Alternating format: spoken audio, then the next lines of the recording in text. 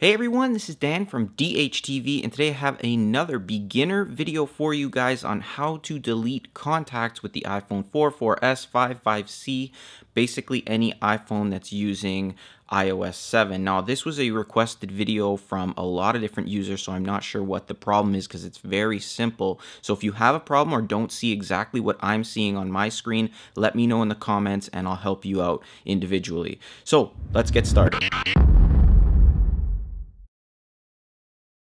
All right, so removing contacts is very simple. The first thing you need to do is open up your phone app. From here, basically all you do is tap on the contacts section at the bottom.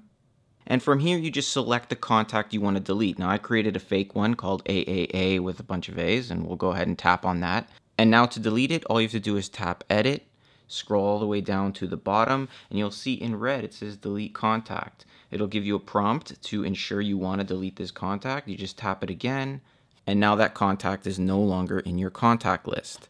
Now, I don't know everybody's individual issue with this, but I think a lot of people are incorporating their Facebook contacts in with their regular contacts or their email contacts in and things like that. And there is a way to go around this. You need to disable the contacts from Facebook to your actual contact list so don't have them joining with each other. So you could probably do that within the settings of Facebook here.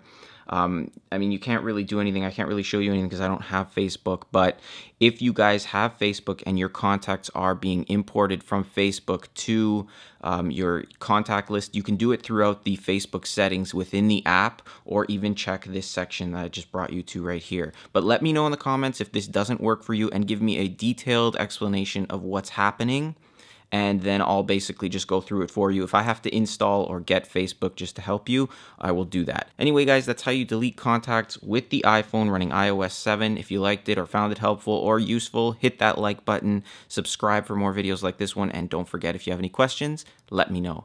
Thanks for watching again, guys. I will see you next time.